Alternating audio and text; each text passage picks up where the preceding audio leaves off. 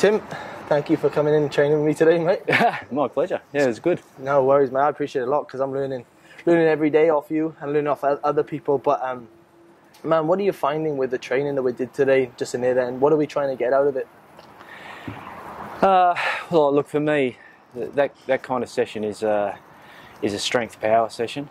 Um, it's not it's not particularly fatiguing. It shouldn't yeah. be, you know, you shouldn't be rating it a ten out of ten. Mm. Um, but you know that's not the goal of it either. It's mm. it's it's purely just to, from my point of view, I want to I want to get stronger and more powerful, yeah. so that it, it, improves my running efficiency. Mm. Um, that's that's probably my my number one goal. Yeah, yeah. Um, if if you get stronger and powerful, more powerful, then um, your, your running economy improves. Yeah. So for in my in my park run, if I want to if I want to get the time I want to get, I want to yeah. try and do it as easy as I can. I want yeah. to get out easy, um, and I want to have enough mm. enough uh, energy in the tank to yeah. come home strong. So that's that's the whole reason behind a strength and power session like that for me. Nice, nice. It's interesting, right? Because I think we've previously I've gone to train to push my body to push my body where I'm physically really sore the day after, and then you know you're trying to slowly die off the week until you come good for the weekend to play or whatever you're doing. But yeah. um, just watching, um, I don't know if you've seen the documentary on Latrell Mitchell. Um, coming back from his rehab, he went to the states um, and did his his hamstring rehab over there. And the, the stuff that they got him doing wasn't physically demanding. It was just working on his chains of movement. Yeah. Um, and obviously seeing him now, he said he had to change his full walking pattern and everything just to get back to. It's really interesting.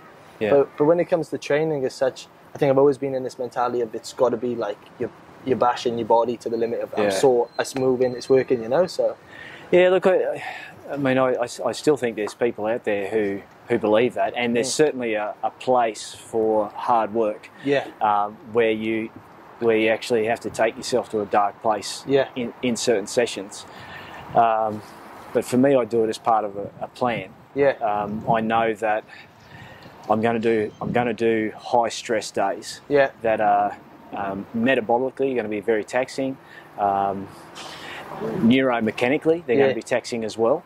Um, but in between those days, I make sure I have lo- lots of low stress days as yeah, well. Yeah.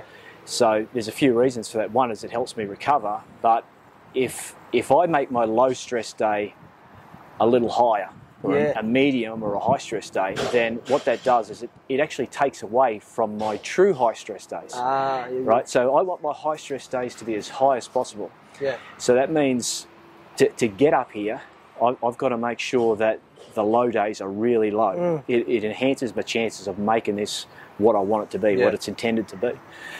Um, yeah, and I, I, haven't watched the Latrell Mitchell um, documentary, but uh, you know, I think a lot of people might have thought he's going over there and he's he's he's going to get um, he's going into a military style yeah. camp. Um, you know, there, there, would have been a lot of discipline around mm. what he mm. needed to do, but I, you know, from what I can see there, it looks like he had fun. Yeah. Um, and and I you know I read an article about about it and you know one of the key things I took away was it, it, it was about drawing his athletic qualities out of him. Mm. Everyone knows he's got them. It's just bringing them out of his body. Yeah. Um, you know, and just the way he's been playing since, yeah. it, it looks like it's um, it's done his wonders. Yeah, I think you know, like you said, going out and going to the states probably gets him out of the bubble of Australia. The NRL so intense, and when are you returning? When are you returning?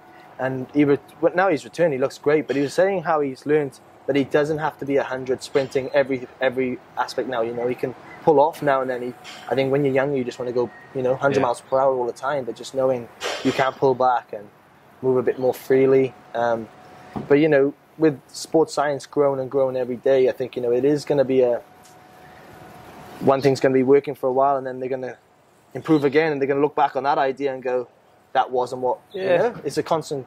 It's never an ending. Yeah, I mean, you're always you're always learning. Um, and we're always we're always standing on the shoulders of someone who, mm. came before us. Um, you know, the, I'd like to think that the, uh, the, the principles of training, the, the, the well established principles of training that, that my dad knew mm. 20 or 30 years ago, and, and then the coaches before him, mm. they, they knew there were certain principles yeah. that you, you have to overload Yeah. or, or you know you have graded exposure. Um, you, you, you have to train pretty specifically for your event. You know, we, we worked that out in the early 1900s. Um, that that the response to training is is very individual specific. Yeah. So what works for you may not work for Yeah. me, and vice versa. And um, and you need recovery. Yeah.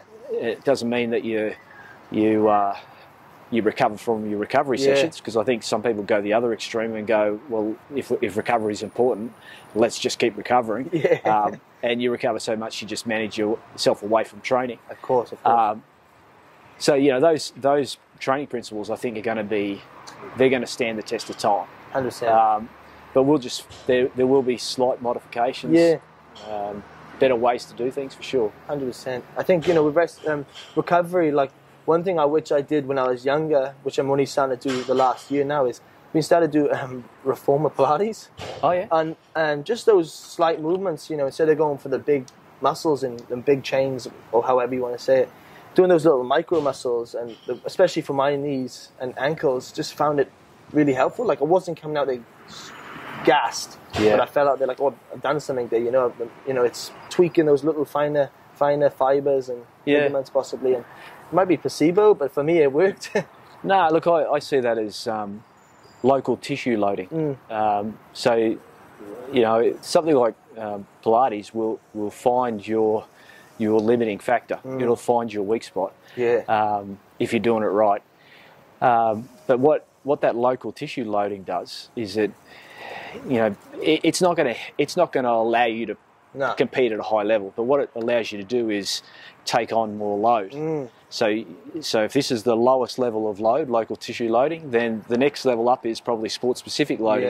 Yeah. If you can handle that, then you're in a position to handle the demands of the game. Yeah. So I see that as a pretty important foundation.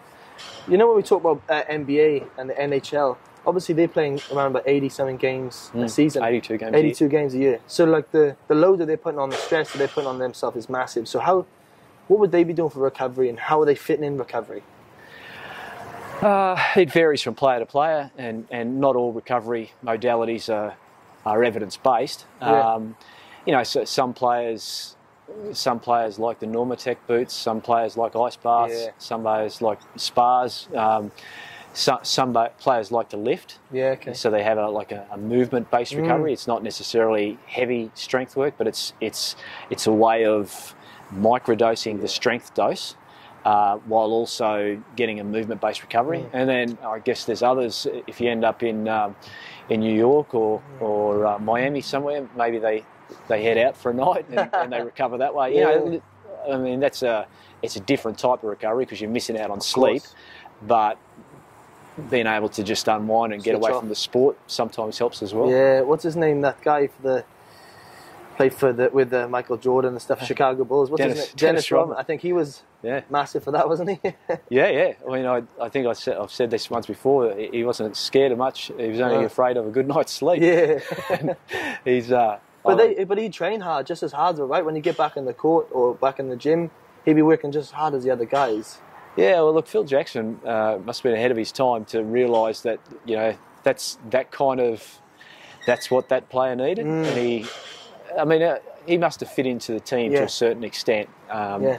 But you know, when it, when he needed his time away, he was kind of Yeah. allowed it. Hundred percent. With, with yourself, Tim, what's up next for you now with, in the future with workshops or um, going out to the states or wherever you're going next? To, Uh, well, this this month is uh, a competition month for me, so I've got a couple of races with my son. Uh, we'll do one in Sydney and one, and we'll do the Bridge to Brisbane here. Awesome. Um, so you know, together we'll we're going to work as hard as we can to get a, a good time, but we're in it together. Um, and then, uh, what are we in August? So September, October, there'll be a, a Europe and and uh, US trip, Oh, and awesome. probably in New Zealand at the end of that as well. Yeah. So.